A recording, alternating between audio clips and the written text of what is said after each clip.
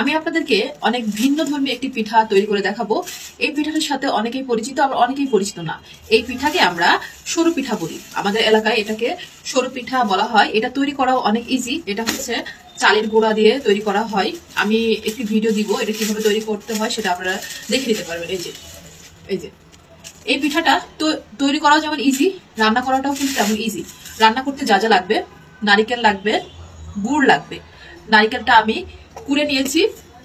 এই যে দেখেন, আমি আরেকটা নারকেল কুড়ে নিয়েছি। এই নারকেল দিয়ে গুড় দিয়ে আরেকটা জিনিস লাগবে, সেটা হচ্ছে দুধ। এই যে, দুধ লাগবে হ্যাঁ? তো সবকিছু দিয়ে আমি রান্না করব। আমার সাথেই থাকেন, আমি দেখিয়ে দিব কত সহজে, কত ইজিভাবে এত ইয়ামি একটি পিঠা তৈরি করা যায়। ঠিক আছে? সাথে থাকুন। তাই প্যান বসিয়ে দিয়েছি। প্যানটা অলরেডি গরম হয়ে গিয়েছে। এর মধ্যে আমি দুধ দিয়ে দিব। ফ্রাই প্যান গরম হয়ে গিয়েছে। আমি এই গরম ফ্রাই প্যানের মধ্যে পরিমাণ মতো আমি যতটুকু পিঠা বানাবো, সেই অনুসারে দুধ দিয়ে দিব হ্যাঁ? তো দুধটা কিন্তু গরম হয়ে গিয়েছে। এখন আমি এই গরম দুধের মধ্যে গুড় দিয়ে দিব। গুড়টা অবশ্যই পরিমাণ মতো দিব। আপনারা হচ্ছে একটু চেক করে নেবেন, মিষ্টি ঠিক আছে কিনা।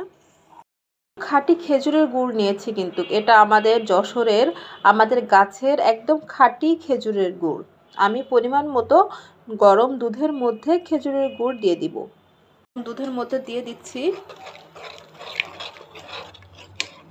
এটা গলে যাবে। আমি আরও দুই চামচ গুড় কিন্তু দিয়ে দিব হ্যাঁ? না হলে কিন্তু মিষ্টি লাগবে না। আর মিষ্টি না হলে তো পিঠা ভালো লাগবে না, তাই না? এটা সুন্দর মতো গলিয়ে নিচ্ছি। দেখেন সুন্দর কিন্তু একটি কালার চলে এসছে আমার দুধের মধ্যে।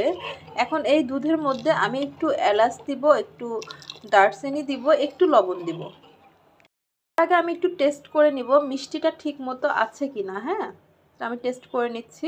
একটু দারচিনি আর এলাচ দিয়ে দিচ্ছি। এলাচটা আমি একটু পাটা দিয়ে শেষে নিয়েছি। একটু লবণ দিয়ে দিচ্ছি। লবণ দিলে কিন্তু টেস্ট লাগে হ্যাঁ? অনেকে লবণ খান না। অনেকেই লবণ খায় না, যারা লবণ খান না তারা অ্যাভয়েড করবেন, সমস্যা নাই। একটু নেড়ে নিব। আরও দুধ এবং গুড় অ্যাড করেছি, কারণ আমার মনে হচ্ছিল যে পিঠার থেকে আমি দুধ কম দিয়ে ফেলেছি এই জন্য আবার আমি দুধ দিয়েছি, গুড় দিয়েছি। এখন আমি নারিকেল দিয়ে দিব, যে দুধ গুড় আমি গরম হতে দিয়েছি সেটার মধ্যে। দিচ্ছি। আমি দুই মুঠ দিব হ্যাঁ বেশি দিতে হবে না, দুই মুঠ দিলেই এনাফ এই যে আমি দুই মুঠ দিয়ে দিলাম। নারিকেল দিয়ে দিয়েছি, আমি দুই মুঠ নারিকেল দিয়েছি, তাতেই দেখেন অনেক অনেক মনে হচ্ছে, তাই না? এবার আমি একটু নাড়িয়ে নিচ্ছি।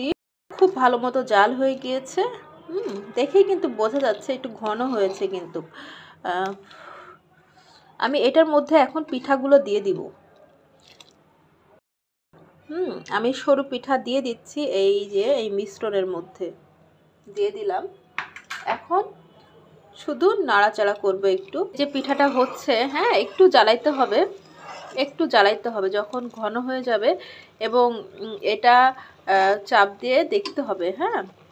চাপ দিয়ে দেখতে হবে, আমার এক হাতে ক্যামেরা আছে, এই জন্য আমি দেখাইতে পাচ্ছি না। এটা চাপ দিয়ে ভাতে, ভাত যেমন চাপ দিয়ে দেখে না, ফুটেছে কি না, এটাও তেমন চাপ দিয়ে দেখতে হবে, এটা মানে চাপ দিলে ভেঙে যাচ্ছে কি না।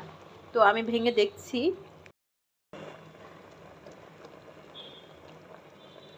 এভাবে দেখতে হবে, এই যে ভেঙে যাচ্ছে। তার মানে পিঠাটা প্রায় কাছাকাছি ভর মুখে হ্যাঁ? আর অল্প সময় পর পিঠাটা হয়ে যাবে। পিঠা তৈরি করা শেষ।